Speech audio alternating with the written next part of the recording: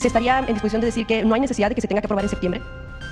Mire, eh, ya se sabe lo suficiente, porque se ha venido informando, a ustedes les consta, de cómo eh, hay mucha corrupción en el Poder Judicial.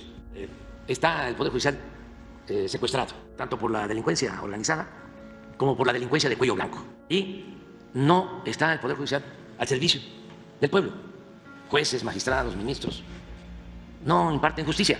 Hay, desde luego, honrosas excepciones, pero en general está mal el Poder Judicial. Entonces, necesitamos esa reforma.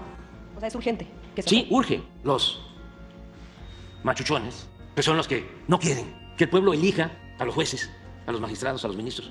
¿Por qué le tienen miedo al pueblo? ¿Por qué le tienen miedo a la democracia? ¿Qué va a suceder? Nada. Está definido un procedimiento, se inscriben abogados, mujeres, hombres, se da a conocer quiénes son, hay tiempo para que se conozcan sus trayectorias, participan las escuelas de derecho, las asociaciones de abogados, opinan los mismos jueces, los mismos magistrados, los mismos ministros.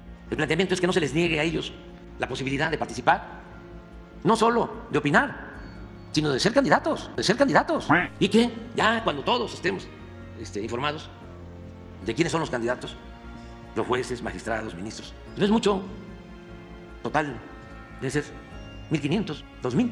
Entonces, ya se tiene toda la información.